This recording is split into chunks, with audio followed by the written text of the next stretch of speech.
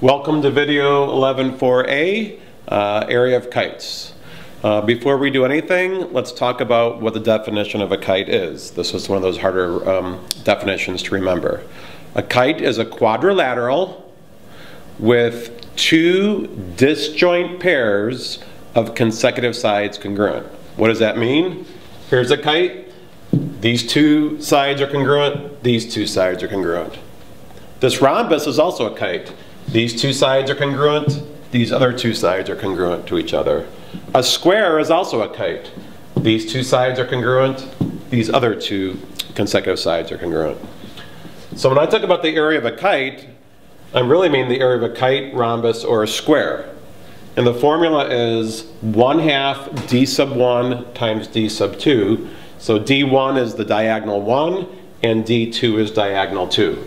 So diagonal, diagonal, diagonal, diagonal, diagonal, diagonal. All right, so this is pretty straightforward. Example one, find the area of a kite with diagonals 9 and 14. Okay?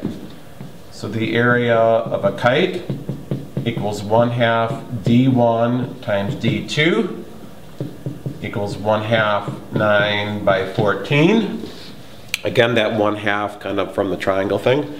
Uh, I would take 1 half of 14 and get 7, and 7 by 9 to get 63. So 63 units squared would be the area of the kite.